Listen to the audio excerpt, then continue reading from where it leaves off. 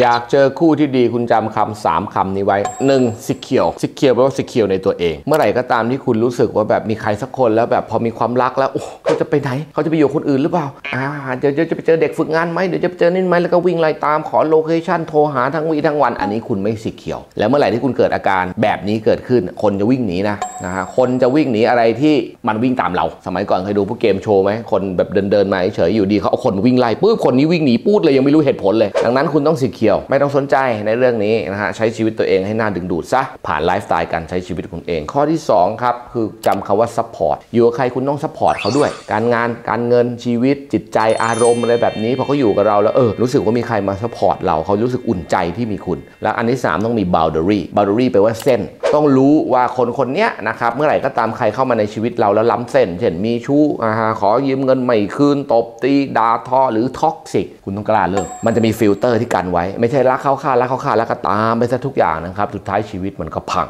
ถ้าคุณทำครบ 3 ข้อนี้ ผมการันตีเลยคุณจะกันเศษออกไปจากชีวิตขี้ออกไปจากชีวิต แล้วเดี๋ยวคนดีๆ จะเข้ามาในชีวิตคุณเอง